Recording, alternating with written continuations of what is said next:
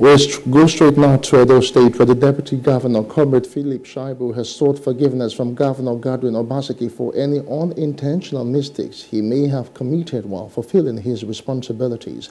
Shaibu, who made the plea while speaking to selected media, said the plea became necessary to ensure that the present administration finishes well in the state. The deputy governor stated this while speaking after his investiture as the grand patron of the Catholic Men Organization of Nigeria of the Catholic Archdiocese of Benin.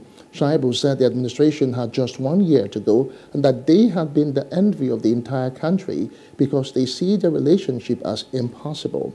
He said he had obeyed the governor's directive to relocate to his new office, added that he would gladly carry out any responsibility given to him by his principal.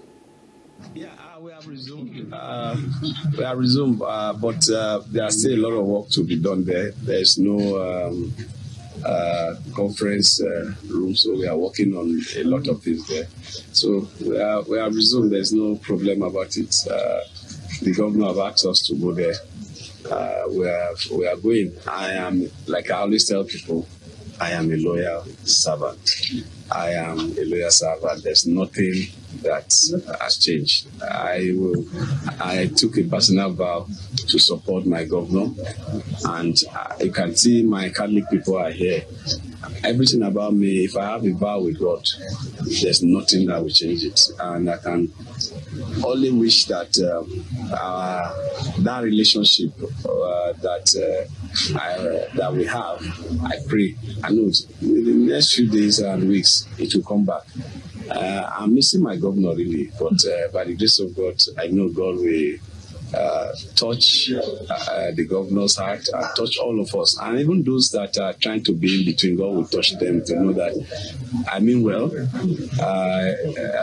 Uh, uh, if there's any mistake that I've uh, made as human, it's just human. It's not out of maybe wickedness because I'm not wicked. I have a very clean heart. And I will use the million too to appeal to Mr. Governor. If there's anything that I don't know that I've done, please forgive me so that we can develop our state together. We have just less than how many months? Just one year to go. We have been seen, we have been the envy of uh, the entire country. It's still possible. So, Mr. Governor, please, if there's anything you feel that I've done, I am sorry. I need us to work together to finish well and strong because that is my prayer for you.